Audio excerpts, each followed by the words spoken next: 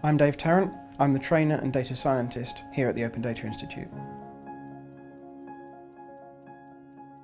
So open data is data that anyone can access, use and share.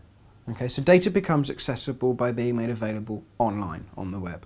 Data becomes usable by being available in a common, understandable format. Okay? The most important thing is that data is licensed. Okay? This license should allow for free use of the data, including for commercial purposes. So think of data at the bottom of a three-tier triangle. So you've got data, information and knowledge. So data is the lowest level of abstraction from which information and then knowledge are derived. So think of all the locations, pictures, reviews, descriptions and prices that you might need in order to plan a holiday, for instance. So you take all of this data and you start turning it into information about where you want to go and from that you contextualize it and turn it into knowledge that is relevant to you. At the same time, someone else could take all that data and look at the differences in cost between activities across the country, so a completely different usage. So it's critical to have this data so we can build these different levels of information and then allow people to contextualize them to build their own knowledge.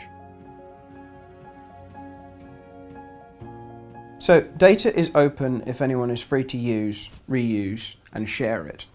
Okay, so it must be this use must be without restriction. So if you apply a, a non-commercial license on data, that's a restriction. So therefore, it's no longer open.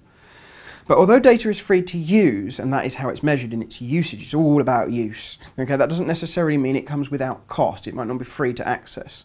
Okay, in order to maintain and sustain the availability of this open data, there may be some marginal cost. Um, and the common occurrence is that this cost should be no more than the reasonable reproduction cost of the unit of data that someone is asking for.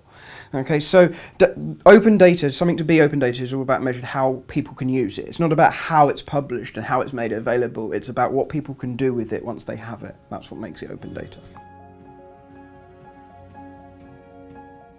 Open data has the power to transform the interaction between governments, businesses and society. And this will unlock real value. New applications can develop, problems can be solved. Okay, and this will help generate real value for society, the economy and also solve some of the environmental issues. And this is where it's already generated real impact you know, in improving our transport infrastructures and saving countless lives. The web is already an accepted part of our societal infrastructure, and open data is the next critical part of this infrastructure.